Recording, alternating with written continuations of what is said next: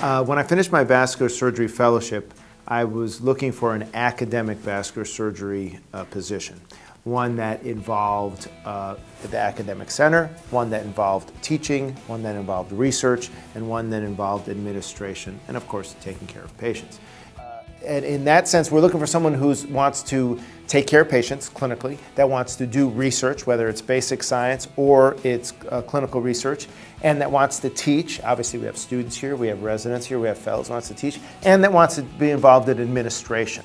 On a partner sense, we're looking for someone who, who we can work with, uh, someone who's uh, obviously cares very, very much and is compassionate, is, is very caring and compassionate towards his patients.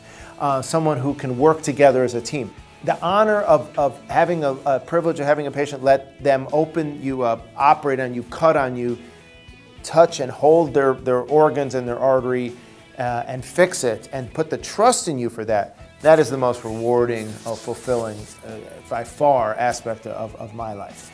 Well, what, what keeps me going? It is, it is the patients. It's the care of the patient. Um, you know, when you first get finished your fellowship, you're still really, in, in, all truth, you're learning. You're always learning. I'm learning every day. I learn today.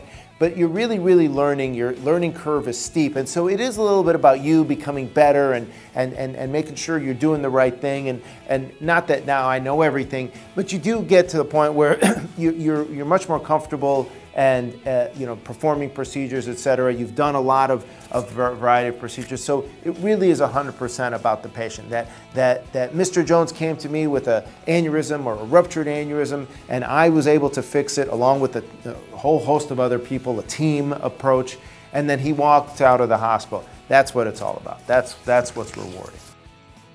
Uh, so Dr. Moursi's actually been my mentor for several years. As a third year medical student, he was uh, assigned to me as my mentor in our surgery clerkship mentor group. Uh, he's always available, literally 365 days a year, 24 hours a day. You can always get in touch with him. Uh, he's always there to give you uh, good feedback uh, with, uh, with patient care and has always been very approachable. I think his pursuit for excellence within, within the field of surgery and uh, the fact that he uh, will not settle for anything but just absolute excellence and perfection, both uh, with patient care as well as in the operating room, and has clearly uh, shown me that um, being uh, able to take care of patients like he has would make a huge impact and, and deliver a, a, great service to our state. Dr. Moursi is just a, a great attending. He's, he's one of all of our favorites, and um, now being the, the division uh, chief at uh, here at UAMS is just a, a, wonderful addition to have him here. Uh, once again, he, he demands perfection. He, he uh, really does shoot for the stars, and I think that he will help us all uh, in the Department of Surgery as well as in the Division of Vascular Surgery be the absolute best that we can be.